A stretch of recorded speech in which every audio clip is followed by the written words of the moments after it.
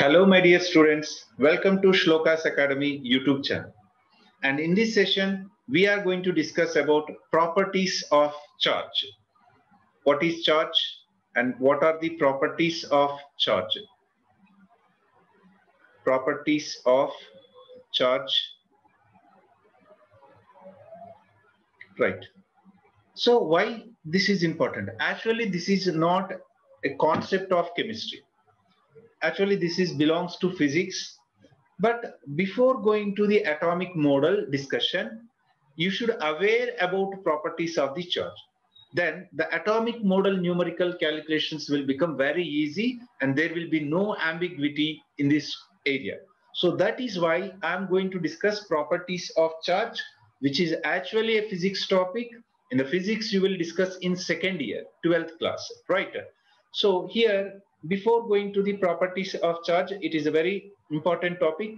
First, charge is quantized. The first property, charge is quantized. What is meant by quantized? Quantized means it can take only a fixed value. Means fixed value means it can take only integer values. For example, if I take charge Q, right? So it can take only N into E E is what charge on electron or proton. N means what? It is only whole number 1, 2, 3, 4, 5, so on. It should not be a fractional value 1.2, 1.5, etc. etc. That means charge is quantized.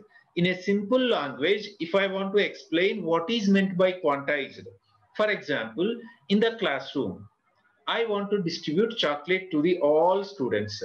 If there are 30 students, Right. So minimum, how many chocolate I should purchase to distribute them? Minimum 30. That is 30 is quantized. And if I want to purchase chocolates and I should go to the I should go to the shop and I should ask the shopkeeper to give me 30 chocolates. If I ask him, can you give me 20.2 chocolates? Will he give? He never. And if you want to purchase uh, eggs, so whenever you goes to the shop and you should ask the shopkeeper either you should you want one egg or two egg, three egg, four egg. If you ask him 1.5 egg, it is not. Means in these two example, chocolates and eggs are quantized. Quantized means they can take only integer values and they do not take fractional values. That is charge is quantized. And the second property, this charge is two types we know very well two types. What are those two types? One is positive, one is negative. For example, if I ask you the charge on electron is minus 1.602 into 10 to the power of minus 19 coulombs. Right. And charge on the proton is plus 1.602 into 10 to the power of minus 19 coulombs. If I ask you charge on electron and charge on proton, which is having more charge means you don't apply your mathematics and you don't say the proton is having more charge than electron. It is not at all. Here actually the electron and proton both are having same charge but they are opposite in nature. One is negative and other is positive.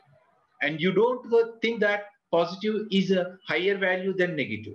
That is in mathematics language. But in the chemistry, in this topic, positive and negative means just their signs. That's it. Their magnitudes are equal, but their nature is opposite. That's it. Electron is deflected towards positive charge and proton will deflect towards negative charge. That's it. So you don't think that proton is having higher charge than electron. Understood? This is second. And third one. In the third, uh, I can discuss. Uh, for example, I have both negative charges and I have both positive charges, right? And I have one negative charge and one positive charge. If I take both negative charges, they repel with each other. Both positive also repel. And one negative, one positive. They attract with each other. Means here in the third property, you can say that like charges repel each other and unlike charges attract each other. This is our third property. Understood? Next, fourth property. If I go for fourth, right? I have the charge Q1 It may be positive or negative. And I have another charge Q2. The distance between these two charges is R, means they are separated by the Q1 and Q2. For an example, in the first case, I am taking positive charge on Q1 and negative charge at Q2. Right. If the distance between them is decreasing, means they come closer to each other. What about the forces of attraction between these two charges increases or not? Means simply I can say that as the distance increases between Q1 and Q2, the forces, whatever it may be, it may be attraction or it may be repulsion. If they are opposite in nature, they will have attractions. If they have same in nature, they will have repulsions. So these forces of attraction or repulsion are inversely proportional to distance. And that force can be calculated by F is directly proportional to what is that? Q1, Q2 by R square. Directly proportional to charge and inversely proportional to distance between them. Right. And if I remove this proportionality, I can write F is equal to K into, right, Q1 by Q2 by R square. And what is K means? I can write 1 by 4 pi epsilon naught, right, into Q1 by Q2 R square, Q1, Q2 by R square. And here, if you want to express this force in SI system, the Q1, Q2 must be in coulombs. Charge should be expressed in coulombs. R should be in meters. If you want to express in CGS system, it should be in centimeter. Sorry, it should be in electrostatic unit and it should be in centimeter. And in CGS system, the entire value is 1 and in CGS system, the K value is an SI system. So 9 into 10 to the power of 9. So this is about fourth point. And fifth point, now I'm taking fifth point. If I take potential energy, right, of a system having two charges again, Q1, Q2, separated by a distance of R, then the potential energy is given by say 1 by 4 pi epsilon naught Q1, Q2 by R, not R square. So this is fifth property and sixth property.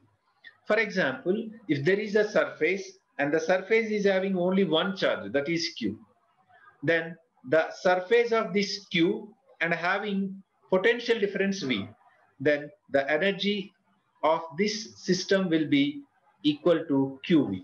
So these are the six, six important properties that are associated with the charge and you should remember all these things. Once again, we will write a review on these properties of the charge. Right? Let me discuss one by one properties of charge. First, right? What is the first property? Charge is quantized. What is the meaning of quantized? Already I have explained. You can take an example of chocolate and as well as eggs whose quantity is fixed which can take only integer values of E. E means charge. So that is Q is equal to NE. N must be 1, 2, 3, so on. But it should not, should not be a fractional value. And this charge is of two types, positive and negative. Right.